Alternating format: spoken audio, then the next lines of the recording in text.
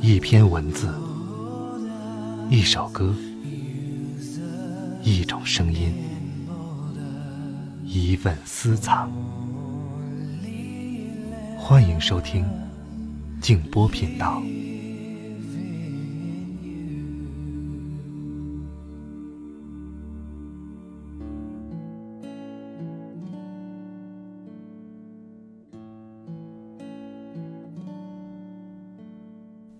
少年说：“我要来采你，荒野上的小蔷薇。”蔷薇说：“我要刺你，让你永远不会忘记。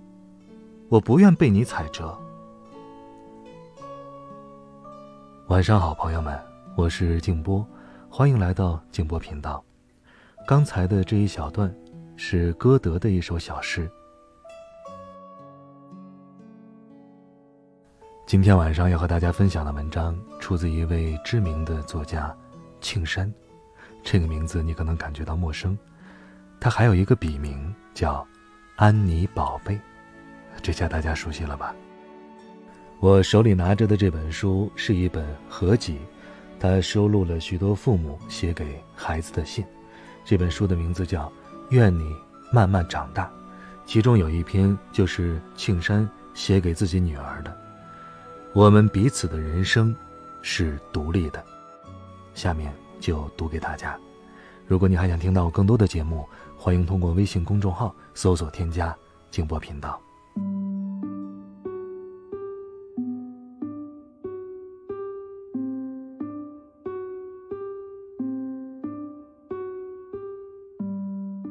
夏日黄昏，走进公寓的花园，看到绿树林荫之中。一个五六岁的女孩，牵着一串长长的纸鸢，在青石路上蹦蹦跳跳地跑着。黑而柔软的长发，齐眉刘海，矫健的小身体充满活力。站在一旁，静静地看着女孩和她的嬉戏，即便是邻家的孩子，自己脸上也会情不自禁地浮现出欣喜的微笑。所谓的同理心是。如果你爱自己的孩子，你也应该会爱一切的孩子。我想，我并不是一个世俗意义上无微不至的母亲。自他出生，我很少对人谈论他。我从不加入所谓妈妈们的组织和聚会，我也并不整日与他缠绕在一起。在关心他必要的衣食住行之外，我们之间的关系。有一种独立和互相尊重的意味。也就是说，我注重与他之间保持略微的距离感。这种距离感是给予对方美好的、重视的感受，但不侵扰和控制对方的情绪和意志。女人即便身为母亲，最重要的核心依然是需要有自己的生活。母亲不仅仅是给女儿做日常生活的琐事，更不能卸去自我的力量，只围绕着孩子打转。我们彼此的人生是独立的，他要成长，我要成长，应是如此。当他满了两岁，家里有一个与他能够相处和谐愉快的保姆，我开始恢复了工作。有时。我在书房独处很长的时间，阅读、做笔记、整理资料、写稿子，间或有或长或短的旅行，几乎隔段时间就出发。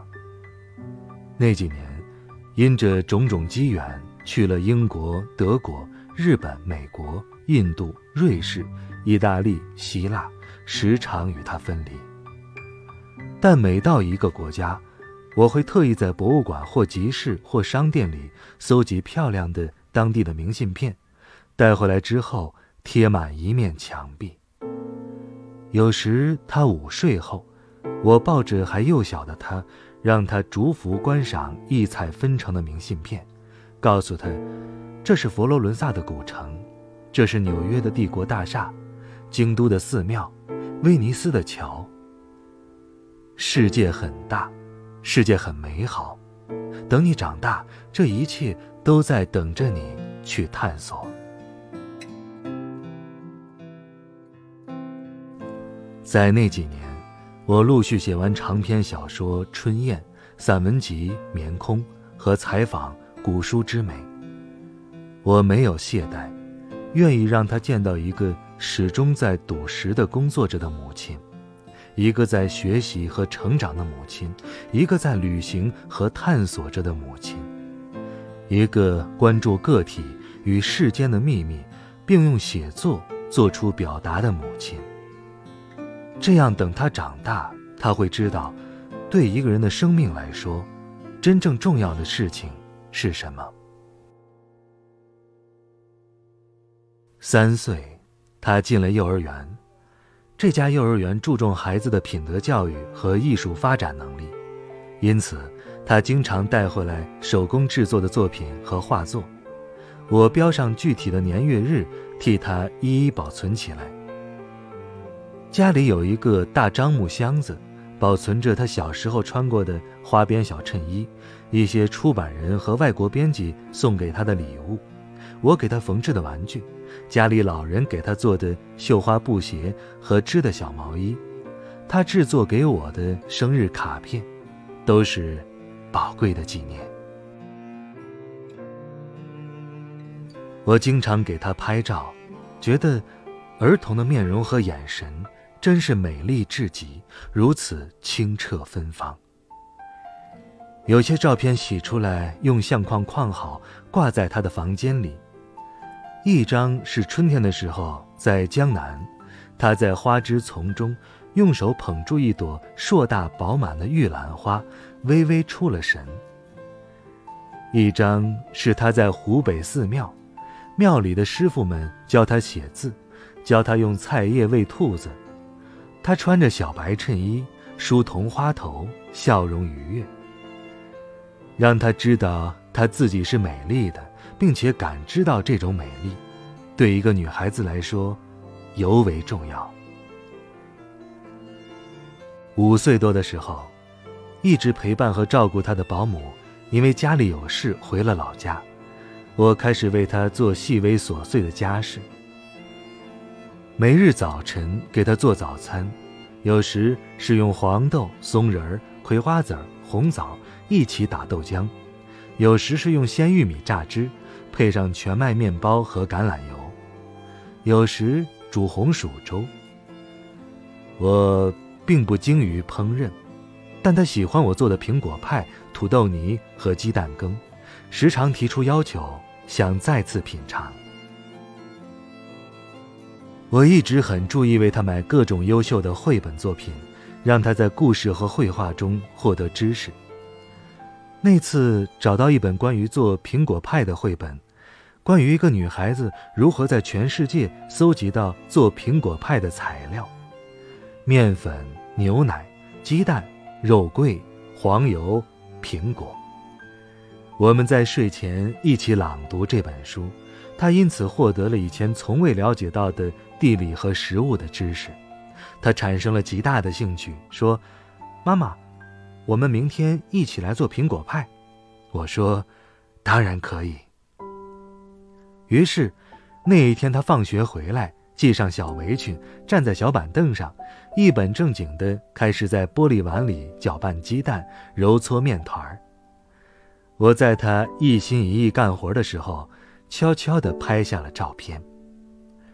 如果等他长大，看到自己在厨房里认真学习的样子，会觉得很欣喜吧。白日他在幼儿园上课，我处理家务和自己的工作。下午他回到家里，我给他打一杯鲜榨果汁，拌入一些酸奶，他端着杯子走进自己的小书房。继续画画和做手工。孩子的心智目前还像张白纸，染上什么色彩尤其重要，不能被庸俗繁杂的电视娱乐新闻所侵扰，也不能沉浸在 iPad 游戏的电光声影之中。所以，让他接触到的事物需要有所过滤，有所选择。我从不对他寄托过多的期望，也不试图用力灌输给他什么。有时听到一些母亲骄傲地宣称自己的孩子会背下多少首古诗，背下《三字经》《弟子规》，甚至背下老子、庄子。我从不试图要让他去学会什么，我只希望他自在的、喜悦的玩耍，对这个世界充满好奇，用他自己的方式去探索、去前行，如此而已。他上过芭蕾课，上完第一阶段，有时在回家的路上经常疲累，在车上入睡。我问询他的意见，他说课太多，想休息。此间，他还在上课外英语和美术课。于是，我尊重他的选择，没有上第二阶段。他有时回家自己看绘本、画画、做手工。就忘记做数学和拼音的作业，我也不催促，因为终有一天，他会正式学习这些的。有什么可着急的呢？孩子总是会按照他自己内在的节奏，慢慢生长起来的。对他们来说，没有什么是比保护天性和保持愉悦和活力更重要的事儿。我现在唯一想的，就是让他时时觉得欣喜，按照自己的想象力和天性去成长。他的快乐和自尊是重要的，至于其他，终有一天他会知道。而且，他现在知道的事情，已经超过一些标准化答案，太多太多了。那是我们最开心的时间。两个人在清朗凉爽的暮色中走走看看，有时就走得很远。他在广场玩喷泉，我在旁边耐心地等待他。回家之前，他则陪我一起去超市，买好吃的果麦核桃面包、酸奶和水果。一次。他表达出想挑选一块香皂的心愿，我说没问题。他在香皂架子前面，逐一的嗅闻那些包装漂亮的香皂，仔细观赏包装盒上的色彩和图案，最后选定了一块白色铃兰香味的香皂。他说他喜欢这香气。我说好，回去之后就用它洗你的小手。这样，你的手就会散发出铃兰花的香气了。他听了之后，显出开心的笑容，并积极地帮我推购物小车。夜色途中，我们穿过一个小花园，他在草地上撒欢，一下跑得很快很远。小小的身影，穿梭过樱花树林、薄荷草丛，穿梭过。淡淡的、皎洁的月光。我看着他的样子，觉得心里跟微微吃了一样，如同看到一朵露水中的花，一颗皇冠上的珍珠。有什么区别呢？这世间美丽的、纯真的存在，总是会让人感动，让我们敬重。曾经，是在哪一本书里见到过这样一段话，说：如果家庭中有五六岁大的孩子，那么他们都是神派下来的天使，他们带来的快乐实在太多。现在看来，此话一点儿也不夸张。他们是这样的温柔、愉快、健壮、踊跃，有时。他们是需要被照顾和带领的幼童，有时，他们是带给大人启发和感知的镜子。一个小女孩带来的微风和香气，是与浑浊僵硬的成人世界完全不同的。我因此对她，总是有一种感激之心的。每天晚上，他睡觉之前，我们会举行小小的祈祷仪式。我把手轻轻地放在他的额头上，低声在熄了灯的房间里为他祈祷。我说：“你会健康、快乐、美丽、安宁。你会是一个懂礼貌、爱学习的孩子。你会成为一个对大家有帮助的人。”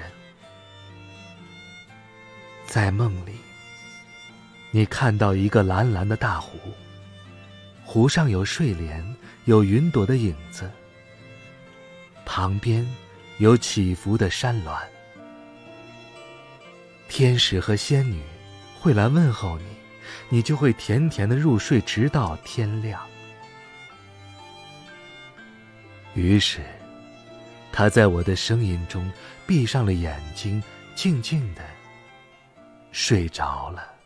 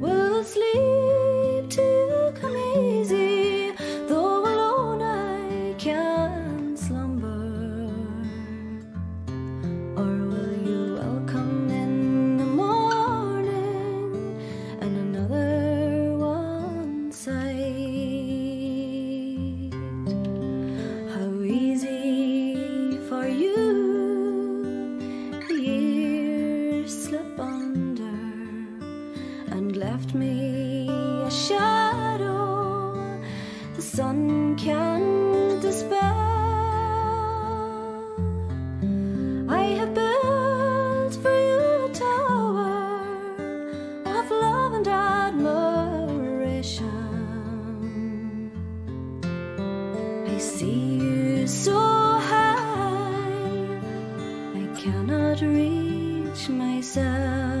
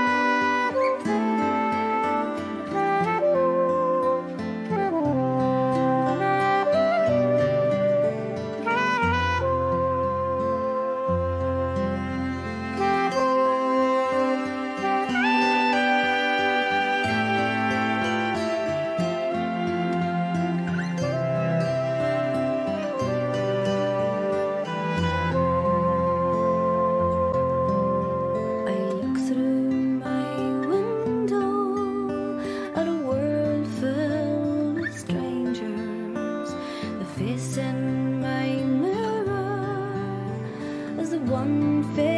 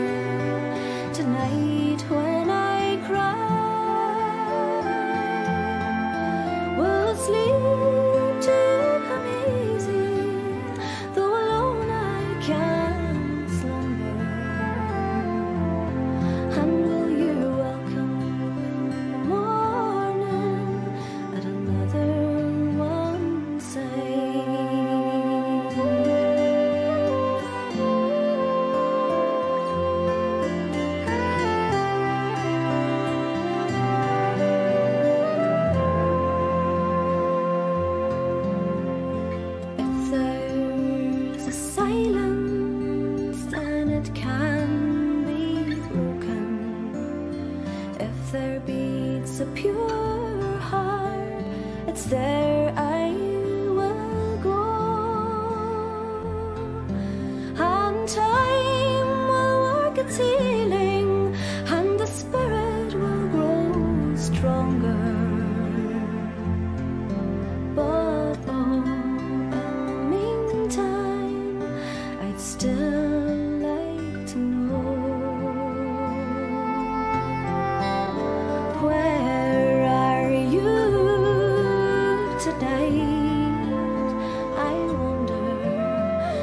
where